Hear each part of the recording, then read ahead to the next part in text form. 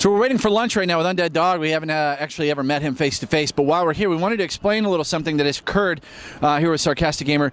Dave, um, Dave lost a bet or something. Um, explain to us uh, briefly uh, this ensemble you're you're sporting today, sir. It's a beaver costume.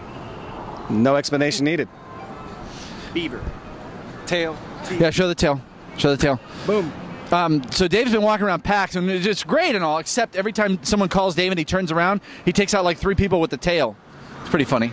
It is pretty funny, but you know, I've never heard nice beaver, you know, yelled out at PAX before, so it's been a first. And they don't know him very well, obviously. He's getting honks. Dave's getting honks from people. Uh, he's getting uh, kind of accosted on the street. Dave, uh, why don't you just give it, go out on the street here and do a little wave, spread some sarcastic humor, good goodwill. Honk if you like beaver. Honk if you like beaver.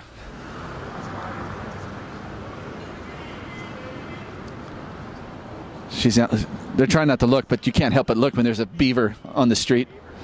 She was looking. I'm not gonna look at the beaver. I'm not gonna look at the beaver. I'm not gonna look at the beaver. Oh my god, I looked at the beaver. You can dub that in when people are walking by. Yeah. like subtitle.